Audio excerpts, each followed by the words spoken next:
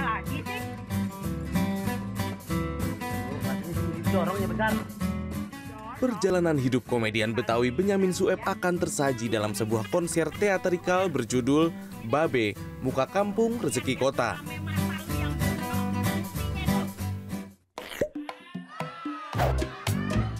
Konser yang digagas teater Abnon ini disutradarai oleh Agus Nur dan diproduseri Maudi Kusnaidi.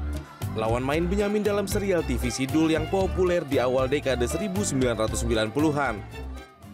Jurnalis sekaligus mantan abang Jakarta Pusat, Tommy Cokro dipilih untuk memerankan sosok Bang Ben, panggilan akrab Benyamin Sueb. Konser teatrikal ini merupakan persembahan khusus untuk mendiang Benyamin Sueb yang dinilai berkontribusi besar dalam pelestarian budaya Betawi. Seni peran dan tarik suara menjadi dua hal yang ia tekuni sejak kecil. Tercatat, puluhan album musik dan judul film menghiasi karirnya yang ia mulai sejak tahun 1960-an. Karirnya terhenti saat Benyamin meninggal dunia pada tahun 1995 dan rekam jejak Benyamin akan tersaji di konser teatrikal pertengahan September mendatang.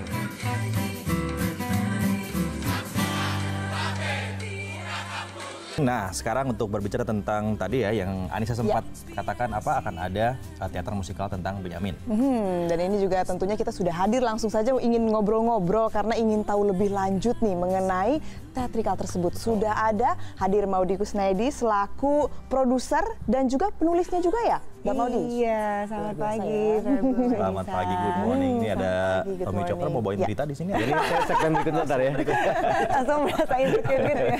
Coba, mesti ada yang jelasin nih kenapa Tommy Cokro ada di sini. Mungkin dari Mbak Maudi dulu kamu udah pakai baju Binyamin loh dia sebenarnya gitu. Jadi Tommy Cokro akan berperan sebagai Binyamin di dalam musikal uh, Babe ini, Muka Kampung hmm. Rezeki Kota. Uh, dari berdasarkan buku biografinya Binyamin, hmm. Muka Kampung Rezeki Kota, kita bagi menjadi lima sketsa dari lima Binyamin kecil, Binyamin remaja, dewasa, dewasa sampai beliau wafat. Hmm. Nah, Tom Cok ini dari salah satu Binyamin yang akan memerankan tokoh Binyamin dari lima sketsa ini hmm. gitu. Yang apa dari Tom Cok yang sampai akhirnya hmm. bisa diputuskan sebagai Iwan? Tantangannya adalah membuat mirip sama Binyamin itu sulit gitu. sulit sekali tapi memang gini, uh, memang ini kan semuanya diperankan oleh Abang None Jakarta, yeah. Tom Cok dari Jakarta Pusat. Nanti juga Mia Ida Royani juga dari Jakarta Pusat dan beberapa Abang None lainnya. Hmm. Dan uh, Iva Fahir juga Mia sebagai pelatih vokal dan Iva sebagai penata musik. Mereka tuh yang mencari uh, talent ini cocok untuk ini, talent ini cocok hmm. untuk ini tidak hanya berdasarkan suara tapi juga bagaimana kemampuan mereka membawakan itu gitu. Gesturnya performancenya dan bagaimana. Dan kalau buat saya sebagai produser saya harus mencari karakter yang saya tuh rasanya uh, percaya gitu. Tenang melepaskan peran itu ke ini. Jadi trennya ke sini gitu harus coba dulu percaya. Wah. Ya, coba apa ini? Harus ngecek dulu harus seperti apa dulu. begitu ya. Kira-kira ada teaser nggak mungkin? Nanti nanti nanti abis ini. Ada ya. ya. nah tapi juga ini merupakan produksi musikal pertama dan yang based on biografi juga pertama iya. ya dan ini memang baru pertama kali diteaterkan hmm. biasanya kan lagu-lagunya Babel lewat konser lewat teater ini kita ingin menunjukkan bahwa perjalanan uh, Benyamin itu sangat luar biasa. Orang-orang kenalnya hanya Benyamin tuh oh kocak, lucu, konyol. Padahal di balik itu semua dia adalah orang yang sangat serius hmm. dan sangat punya peran yang sangat penting dalam kebudayaan Betawi. Yeah, yeah. Hmm. Dengan uh, Benyamin dia mengangkat kembali gambang kromong sebagai musik yang bisa hmm. dinikmati karena hmm. dulu tuh gambang kromong tuh tradisional banget. Jadi kayaknya sulit sekali dinikmati hmm. gitu. Kemudian dia juga punya pemikiran yang uh, ke depan gitu, ya. bagaimana yeah. untuk bisa memikirkan keluarganya, anak-anaknya, hmm. peninggalan-peninggalan karya-karyanya gitu. Jadi sebenarnya orangnya sarang serius banget. Hmm. Mungkin gaya nyanyinya hahe gitu ya. Tapi kalau dengerin vokalnya tanya sama Toncok deh dia yang ngeblues, yang ngerock, yeah. yang dangdut, gitu, yang Melayu, Melayu ya, suaranya. Berarti tantangannya cukup banyak juga nah, ya. Iya, ini buat berat. Makanya dengan tokoh seikonik Benyamin gitu ya, lalu sekarang ada di pundaknya seorang Tommy Cokro nih gitu. Itu gimana caranya tuh Tom untuk bisa shifting ya karakter dari yang biasanya hmm. baca berita lalu masuk ke tokohnya Benyamin Sueb. Nah pas lagi awal-awal emang uh, dikasih. Oh ini, uh, ini, ini gambarnya. Iya. Jadi kita baru mau lihat. itu perutnya pakai tembelan kok. Oke, jadi awal-awal emang eh, saya diberi kesempatan untuk baca bukunya juga. Kan ini bu- buku ini adalah menjadi fondasi untuk konser teatrikal. Ini eh, ngomongnya masih masih, masih gayanya Tom Cok. jadi gini, Karena suasananya suasana Suasana news nih gitu kayak. gimana gimana? Iya, jadi buku ini eh, cukup membantu banyak sih mengenai karakter Bang Ben, ceritanya Bang Ben, dan juga perjalanan karir Bang Ben juga. Tapi di, eh, di luar itu semua, teman-teman juga pada bantuin juga. Jadi Pomot bantuin saya juga, kemudian Iva juga dan Mia juga berusaha untuk, oke lagu ini kamu gayanya serius misalnya. Karena Bang Ben pada saat nyanyi ini serius. Tapi ketika nyanyi Hujan Gerimis, nyanyi lagu-lagu hitsnya, dan ini harus jenaka nih. Nah, kamu harus nonton nih video klipnya atau pas pada saat dia manggung. Oke, berarti ya belajar terus nih. Ada beberapa lewat uh, website, lewat YouTube salah satunya juga. Saya lihat gerakan-gerakan dan gimmick-gimmicknya Bang Bang Pengki Pen. ya? Iya, satu lagi Bang Pengki. Jadi Bang Pengki ini seorang penyiar juga yang ternyata secara look dan secara gesture Bang Ben banget. Jadi ya udah belajar lewat dia juga. Kalau dengan keluarga, apakah ada diskusi juga dengan eh, keluarga Benjamin Sueb? Kebetulan emang iya ya Mot ya? Iya keluarga eh, sebelum kita berani buat ini saya minta izin dulu gitu ya untuk semuanya gitu. Dan di, diizinkan baru kita jalan.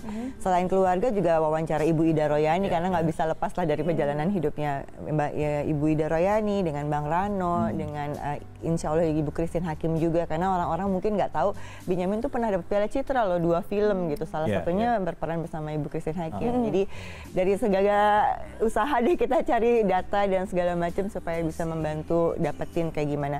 Eh, yang pertama juga saya sampaikan ke keluarga adalah kita nggak berusaha mengcopy atau menjiplak gitu karena Benyamin itu sulit sekali gitu untuk bisa di Nempel. Sangat original ya. Iya, nggak bisa. Tapi yang penting adalah kenapa sih konser teatrikal Babe ini kita persembahkan adalah supaya tahu sosoknya, perjalanannya, bahwa dia dulu pernah ngamen, bahwa dulu dia pernah jadi grup band dulu Melodiria. Ya hal seperti itulah gitu. Bagaimana akhirnya dia membantu membangun band radio dan sebagainya. Jadi bukan hanya sosoknya aja tapi juga perjalanan karirnya seperti apa prestasinya, pencapaiannya gitu. Apa yang susah Tom waktu apa yang susah coba dikerahkan. banyak. Bukan cuma acting nih ya, kayaknya. acting, nyanyi, terus koreografi juga itu kan. dia. Jadi Nah, dua apa beberapa platform itu yang Gue loh nari. asli. Ternyata harus ya. lihat nih, ini harus lihat nih kayak nih.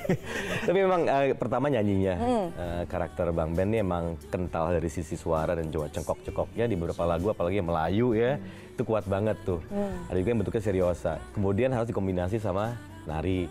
Kemudian juga ada beberapa lines yang harus diapalin untuk actingnya juga. Jadi ya tiga aspek ini ya cukup sulit sih sebenarnya. Gitu sih. Cuma eh, untuk Bang Ben sendiri saya nggak satu-satunya memerankan Bang Ben di sini. Jadi ada beberapa sketsa juga eh, terbagi dengan beberapa teman-teman dari Apnon atau Iya, teater Apnon. Termasuk Bang Pengki juga nanti. Oke oke oke. Iya, karena memang di sini tuh full koreo. Iya. Jadi memang semua sketsa masuk semua udah ada koreonya. Jadi gini, ini apa lagi nih mod ini yang berapa kali berapa lagi nih gitu. Nah ini kan gini, penonton nanti dari teater yang akan di apa di pertunjukan itu kan sebenarnya anak-anak muda ya, bisa dibilang anak-anak milenial gitu. Yang mungkin barangkali juga mereka nggak tahu tuh Benyamin itu siapa eh, dan juga semua kehidupan tentang Benyamin ini. Nah ini kan tantangan nih. eh, kita bikin pertunjukan tentang Benyamin kepada penonton yang nggak ngerti, yang mungkin nggak tahu dan hanya tahu mungkin lewat Google atau lewat ini. Ini gimana caranya nanti bisa? Untungnya kita milenial ya. Kurang milenial apa kita kiranya? Jadi itu juga musik-musiknya di aransemen ulang lagi sama Ah. Iva. Ada yang eh, istilahnya apa tuh? Kayak di remix gitu. Terus ada EDM gitu ya. Iya. Yang kompor meluknya di EDM gitu. Oh, ada jazznya, Jadi ada yang lebih di blues. kekinian lah ya. Ada Iya, yang iya, blues. iya. Ya, memang kita pakai orkestra supaya bisa mengeksplorasi musiknya Babe. Tapi tetap kolaborasi dengan Gambang Kromo nggak bisa lepas dari itu gitu. Jadi kayak lagu Hujan Gerimis yang nanti duet Tom Cok sama Ida Royani yang diperankan sama Mia itu juga aransemennya glam banget sih ya kayaknya wah banget gitu. Jadi memang beda-beda. Eh, memang sih teater Abang None ini kan tujuan utamanya untuk melestarikan budaya- Betawi dan memperkenalkan kepada generasi muda. Jadi kita bikin konsepnya gimana caranya supaya anak-anak mudanya bisa terima ini gitu. Dan juga bagi orang yang sudah tahu lagunya seperti apa, jadi begitu di aransemen ulang dan di, di apa ya diubah oleh Iva, kaget juga, oh ternyata bisa diginiin juga nih lagu gitu. Wah, jadi ada ya? perpaduan itu ya. Kita pengen lihat nih kayak gimana ya. Tapi nanti kita bahas setelah jeda. Kita break Oke. dulu.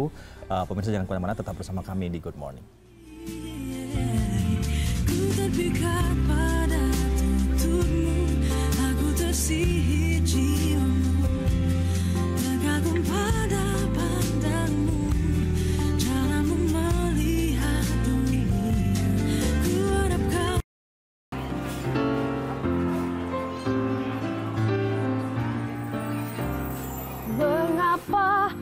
hujan gerimis Aceh pergi berlayar ke Tanjung Cina?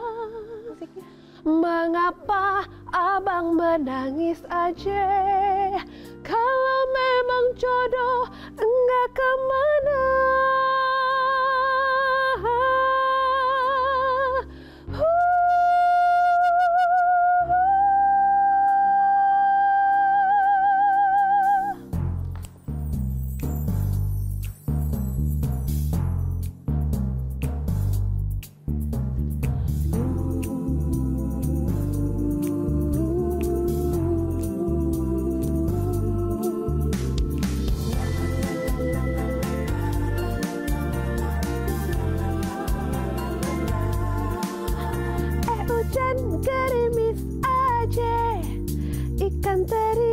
Diasinin. Eh jangan menangis aja. Yang pergi jangan dipikirin. Eh hujan gerimis Aceh Ikan lele ada kumisnya.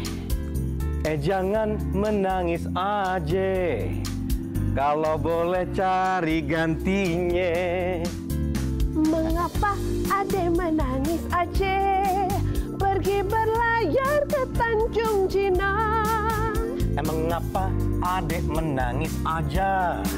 Ah, Kalau memang jodoh enggak ke mana? Hei hei! Eh hujan gerimis Aceh Enon Ikan bawal diasinin Eh jangan menangis aja Bulan syawal mau dikawin males banget kok sama lu.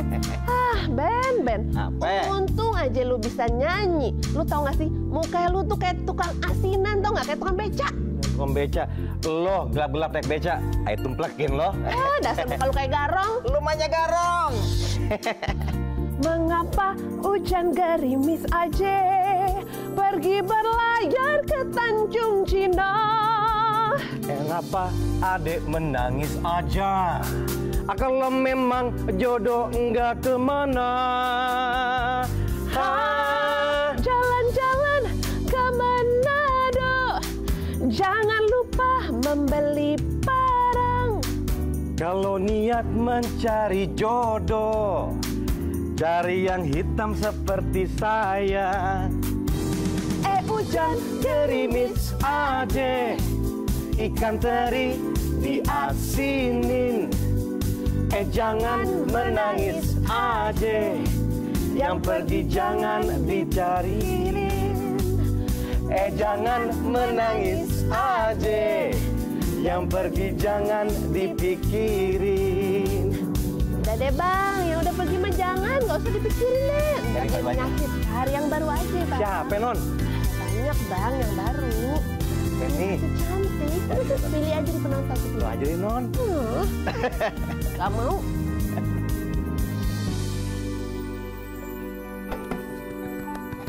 Weh, ini tuh ternyata. Hebat. Tuh ceritanya. Asik banget. Saya Merinding loh saya di belakang ini kan merinding. Waduh Sambil goyang. Ini Tia Ismi, pelatih vokalnya udah jadi Ida Royani. Oh, halo, apa kabar? Suaranya ini banget ya, apa namanya? Ida Royani banget ya. Iya, ternyata kemarin diketemuin nama Ida Royani juga. Terus katanya Ida Royani apa? Harus harus centil, harus agak jutek-jutek sama Benyamin Harus gitu. cerewet. Harus cerewet soalnya. Tantangannya tapi paling besar apa tuh? Karena harus Tantangannya- nari, nyanyi, Iya, harus centil memang. juga tadi. Betul kalau untuk peran Bu Ida sendiri karena Bu Idanya kan masih ada jadi kita bisa lihat langsung kemarin Iya. kebetulan pas ketemu sama Pomodi jadi kalau ngelihat mimiknya cara dia ngomong attitude badannya juga masih sikapnya gitu karena maksudnya sebisa mungkin benar-benar merepresentasikan beliau gitu. Kalau untuk yang lain karena mungkin ini musikal jadi memang tantangannya karena harus bisa tiga hal sih acting, nyanyi dan nari. Ngeliat Tommy tadi gimana? Cukup cengengesan nggak? Cukup cengengesan. Mm, Wah itu luar biasa loh Bang Tommy loh. Agak kaget gitu ya. Iya, pokoknya Oke oke, jadi ini kapan sih itu rencananya akan dipertunjukkan? Tanggal 15 dan 16 September. 15 sampai 16 September. Iya, Jumat dan Sabtu di Ger- Geraha Bakti Budaya Tim. Oh di tim, ya Hmm. ya ya. Ada berapa banyak yang terlibat di produksi ini?